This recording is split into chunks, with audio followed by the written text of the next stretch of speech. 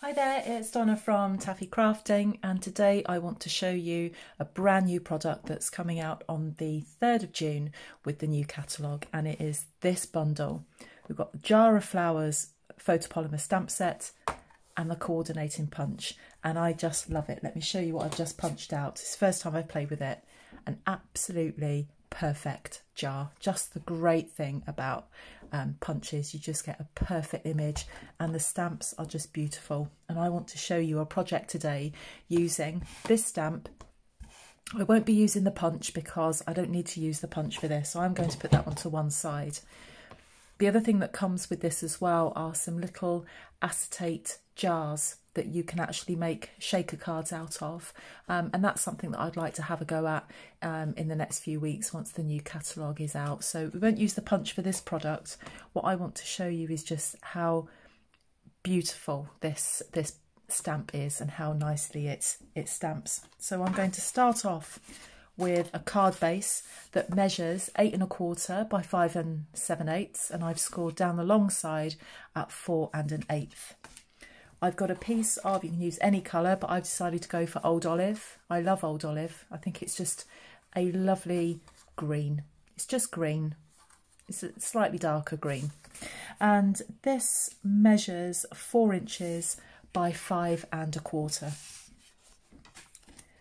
And then I've got another piece of Whisper White and this measures three and a half by five and a quarter. So we've got a nice border all the way around that. I'm just going to put the green to one side for now. I'll just focus on the stamping. So I'm going to start off with Smoky Slate ink. Just trying to sort out my stamps here because I've got them on the wrong blocks.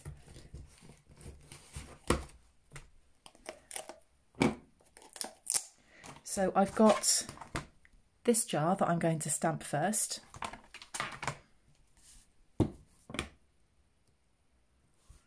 There's all sorts of things that you can do with these jars. Okay, so and, and over the course of the next few weeks, I'm going to show you all the different things that you can do with them. But I'm just going to start with this and I'm going to stamp this in smoky slate.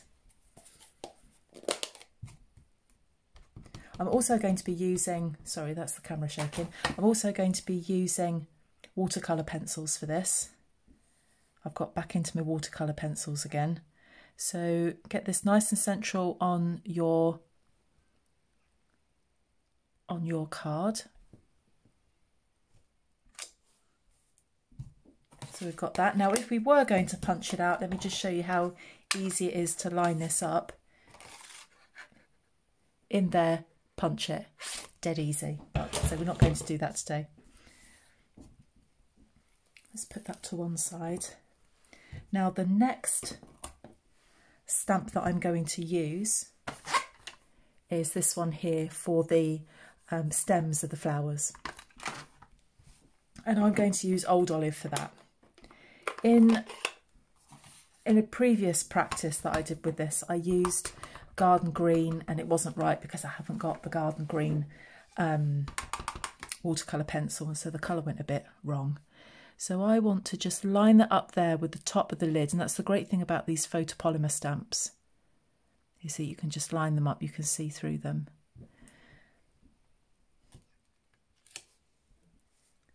So there are the stems of my flowers.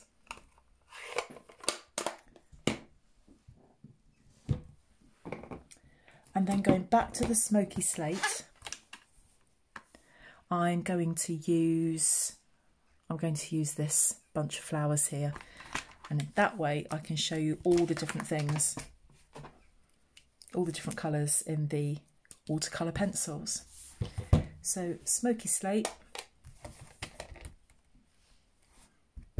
stamp that up. You'll notice with this um, stamp there are no sentiments on there. It's just purely jars and flowers. Let's put my ink out of the way. I need to line this up and I need to try and get my head over this. So you need to line up the bottom of those flowers with the top of the jar.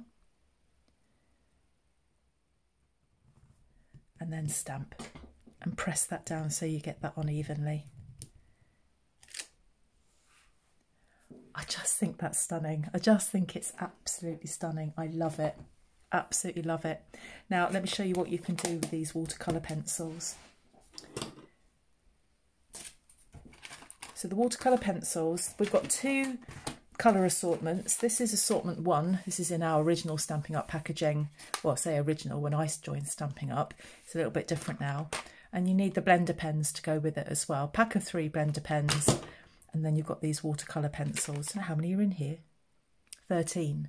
And then you've got a completely different selection in assortment two.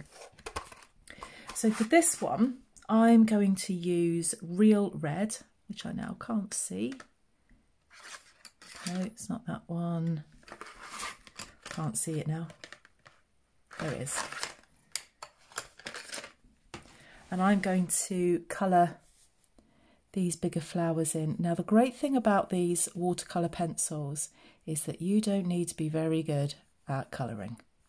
So please don't think that, oh, you know, she must be artistic. Uh, no, she isn't. I can't draw anything. And this is why I like the watercolour pencils because you're just kind of scribbling that in there really. And the blender pens, they just disperse it all for you. So all of these are going to be in real red.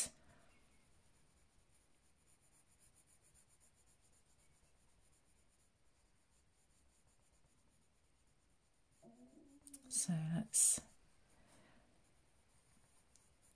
get those coloured in. Just want to show you how easy this is and how quick it is as well. Okay, so there are those. Now these here, these middle flowers in here, I'm going to colour those in, well, whatever colour pops out of here really. I've got an orange there, so this is pumpkin pie. I'm going to colour those in and I am, I promise you, I'm just scribbling. The pens will do all the work for you. Now, I could have used the Stampin' Blends for this, but I can't use those as well as I can these. This is my preferred my preferred colouring um, implement. Right, that's Pacific Points. So I've got a blue for these colours here, uh, for these flowers here. Now I know nothing about flowers. I don't know if they should be white, if they should be blue, green, I don't know. It's a new special range of flowers that I've just come up with. And I'm just doing literally a little scribble in each area there and I'm really making this desk wobble doing this. Sorry if that's making the camera wobble. Oh, just remember these here. That everything? I think it is. And then I want a green for everything else. So the green that's in here, which I've got, I'll keep basic grey out because I need that. Where's the green?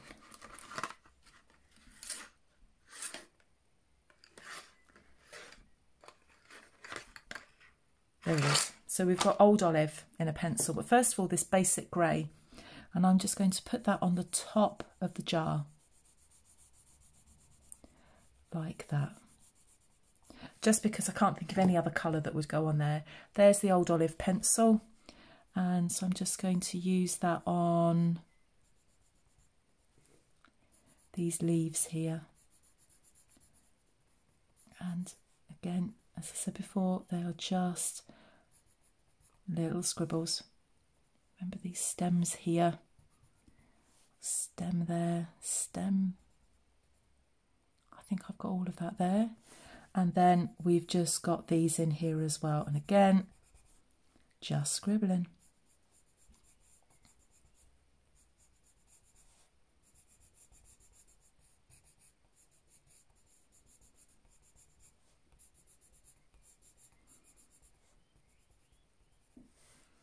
There you go. I think I've got them all there. Now, here come the blender pens. Take out one of these. Now these are, I've had these ages. They are still moist. These are, just feeling on the back of your hand, they are moist. So I'm going to just start off just with my lid on my jar. Like that. And then when you finish with one colour, you just scribble the colour off like that and you're ready to go into the next one. So I'm just going to, and this, this all it does is just blend, it blends your scribbles.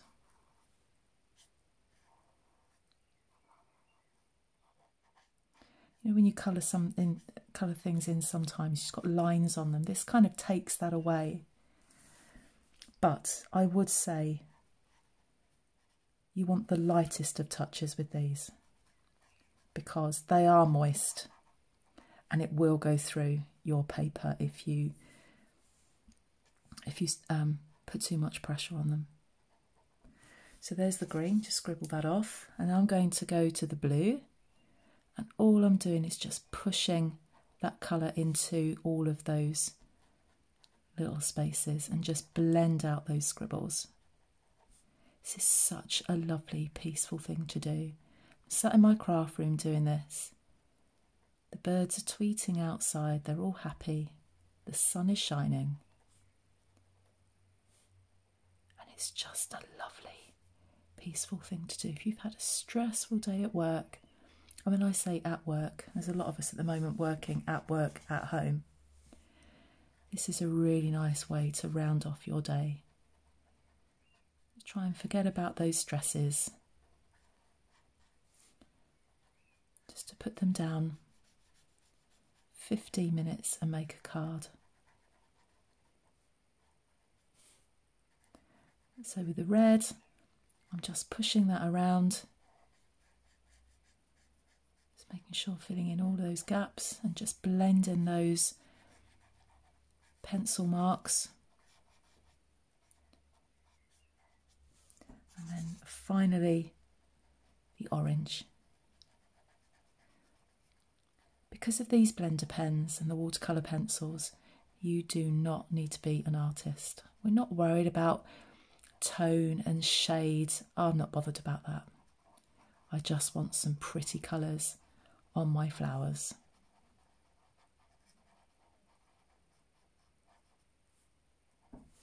And there you have it. I just think that's gorgeous. I think it's absolutely gorgeous. So we need to get it mounted on our card before we just start feeling too relaxed. I need to get a sentiment on there as well. So let's get my, um, what have I got here? Right, I need to find something. There's a happy birthday one.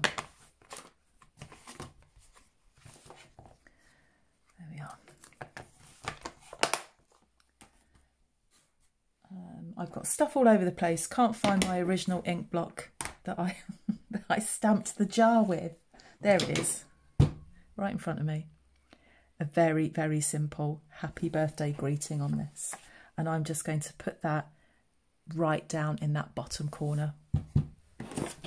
This card is about those flowers. It's not about the sentiment. So I'm going to stamp that in grey again, smoky slate. See if I can get this straight. I can never get sentiments on straight. And it doesn't help that I can't get my head over it to check that it's straight. That'll do. I'll take that. Right, let's get this mounted onto this old olive piece of card. And the old olive card will bring out the green in the flowers.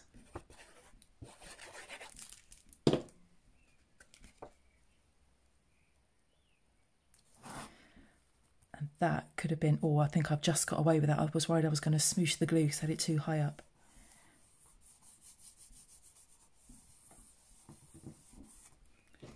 And then I want to get that onto the card base. So if you're a beginner crafter, a beginner card maker, this is a perfect way for you to get going. If you were going to buy a bundle of things, So the Jar of Flowers stamp and coordinating punch, you'll find that on a bundle in the new catalogue. Watercolour pencils and blender pens.